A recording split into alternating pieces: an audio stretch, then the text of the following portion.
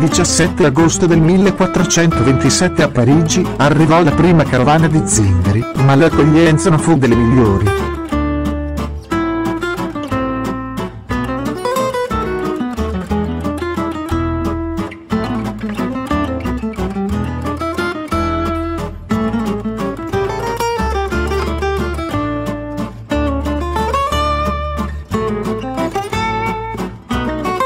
Proseguendo dopo l'arco, una ragazzina di quell'epoca ha avuto il coraggio di avvicinarsi a una zingara di nome Hope per farsi leggere la mano, ma succede l'impensabile.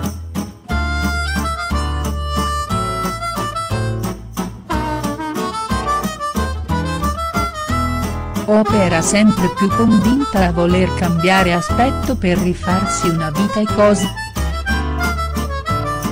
il popolo errante dopo essere stato mandato via dalla Francia, si trasferì a Pointe e rimase lì per un po'. Hope da quando aveva cambiato il suo aspetto venne allontanata dal suo popolo, mando incontrò la sua fortuna. Il guerriero sa che è libero di scegliere ciò che desidera, le sue decisioni sono prese con coraggio, distacco e, talvolta una certa dose di follia.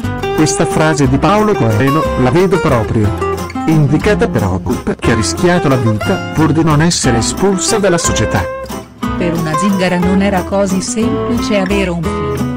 Costei doveva passare la sua gravidanza in isolamento perché aveva commesso un atto impuro e non poteva toccare nemmeno per completare il rito di purificazione. La nomade dopo aver partorito doveva immergersi nel fiume ghiacciato e non sembrava affatto contenta. Degli altri riti preferirei non parlarne, se vi va vediamo quelle che sono le tradizioni nell'altra parte del mondo.